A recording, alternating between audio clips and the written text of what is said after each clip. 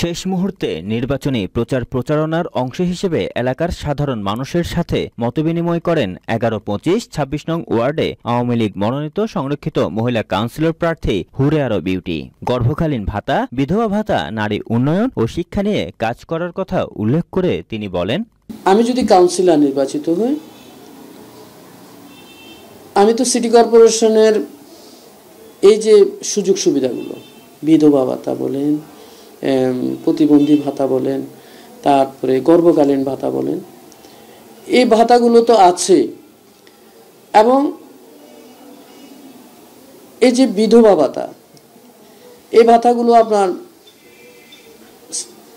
City কর্পোরেশনের যে বরাদ্দকৃত বরাদ্দকৃত ভাতাগুলোর বাইরেও আমি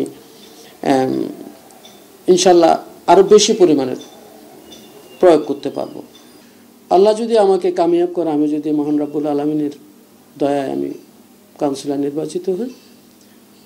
আমার চিন্তা আছে, আমার অত্র ওয়ার্ডে আমি আমার অসহায় যে মহিলাগুলো আছে, যারা কর্ম করে খেতে চায়, আমি সিটি কর্পোরেশনের আন্ডারে যদি কোনো কর্মের সংস্থানের মাধ্যম থাকে, আমি তাদেরকে সেখানে কর্মসংস্থানের ব্যবস্থা করে দিব।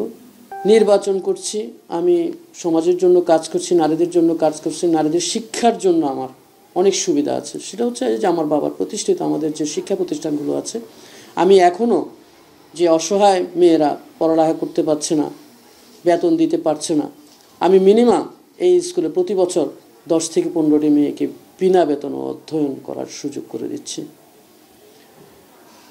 এবং তাদের মাননীয় প্রধানমন্ত্রী বছরের প্রথমে বিনা মূল্যে বই বিতরণ করছেন।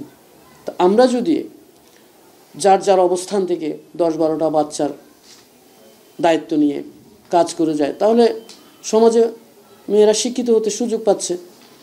এইভাবে আমি কাজ করে যাচ্ছি এইভাবে আমি কাজ করে যাব কারণ আমার কাজ করতে সুবিধা আমার, শিক্ষা প্রতিষ্ঠান নিজেরই শিক্ষা প্রতিষ্ঠান আছে আমাদের। তো আমি এইভাবেই কাজ করছি, নারীদেরকে শিক্ষার জন্য মেয়েদের মেয়েদের পড়ালেখার জন্য আমরা বাবাও করেন আমিও করি। এছাড়া তিনি কিশোর গ্যাং সন্ত্রাস মাদকসহ নানান অপকর্মের কথা তুলে ধরে বলেন আমি নির্বাচিত হলে এলাকার এ ধরনের খারাপ কর্মকাণ্ডগুলো নির্মূলে কাজ করব।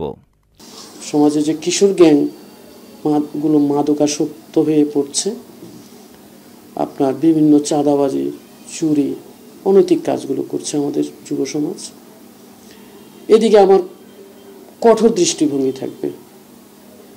মতবিনিময় শেষে তিনি নৌকার প্রতীকে মেয়র প্রার্থী বীর মুক্তিযোদ্ধা এমরাজাল করিম চৌধুরী ও মোবাইল প্রতীকে হুরারা বিউটি তার নিজের জন্য সকলের নিকট ভোট প্রত্যাশা করেন। মোহাম্মদ সোহাগের ক্যামেরায় কামরুল হাসান সজীবের প্রতিবেদনে ডেস্ক রিপোর্ট এসএন টিভি।